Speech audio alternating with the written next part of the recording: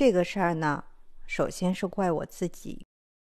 我要买四个浴室柜，在某宝搜了个岩板一体盆，看颜色风格也还大，销量又高，评价也好，主要是发货快，下单三天就发货，不像品牌定制要一两个月。我问卖家。为什么你们浴室柜才一千三？他说我们是厂家直销。我说你们龙头是什么材质的？他说全铜的。我说我买了科勒的龙头，不要你们的龙头能减多少钱？他说二十五。我说如果到货质量不好怎么办？他说可以退。前两天我正好去科勒专柜买龙头。看到一款特价三千多的浴室柜，就想当然的以为他们是淘宝跑量，没有实体店成本，也没有品牌溢价，可能和专柜三四千是差不多的品质。于是我就下单了。后来发现是我想多了。到货，纸箱外面打着木架，第二天安装师傅就来装上了。立刻就发现了它不对劲。我本来以为它只是细节差一点，没想到差那么多点点点。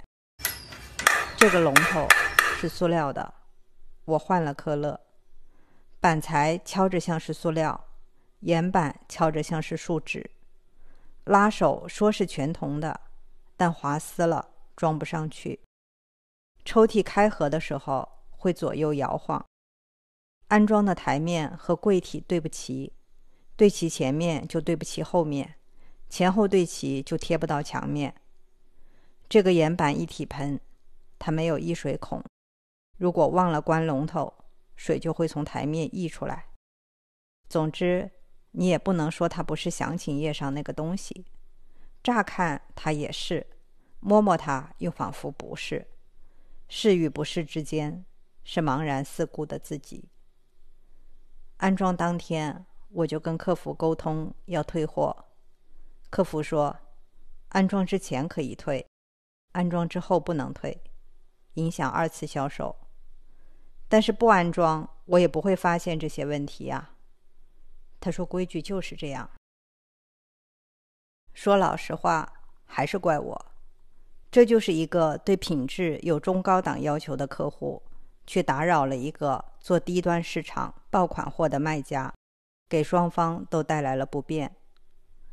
我就去商场专柜，花了三万多，买了四个浴室柜，让专柜的师傅给我把网购的拆下来扔了。拆之前录了个视频，给了个差评。卖家就找我了，他说返现八十八，让我删评价。我说我不需要返现。他说：“那返现二八八。”我说：“我不在意返现，我就想给大家个参考。”他说：“给我退货，运费自理。”那既然能退，我又去捡回来，还是请那个专柜师傅过来打包。打包花了两百，打木架花了一百八，连物流费用一起六百，也就是我花六百看了个货。卖家浪费了个发货给我的运费。我录这个视频呢，就是告诉大家，打包有多复杂。你要是网购个家具，拆开验货不满意，你也包不回去，而且退货成本很高。想清楚啊，姐妹们。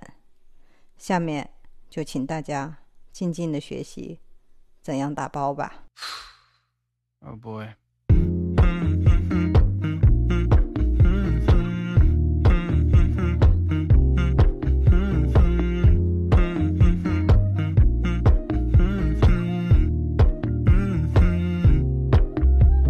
帮我拆柜子的时候，把科勒龙头拆下来，装在一个盒子里。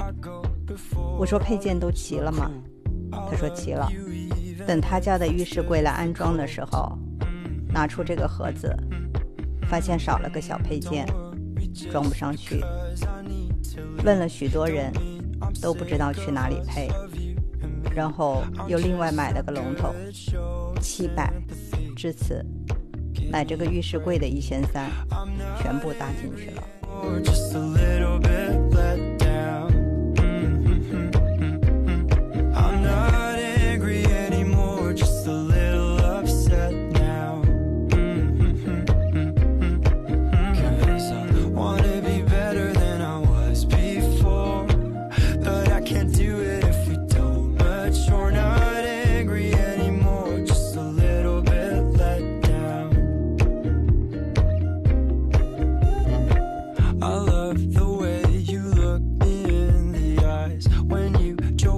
but can't apologize.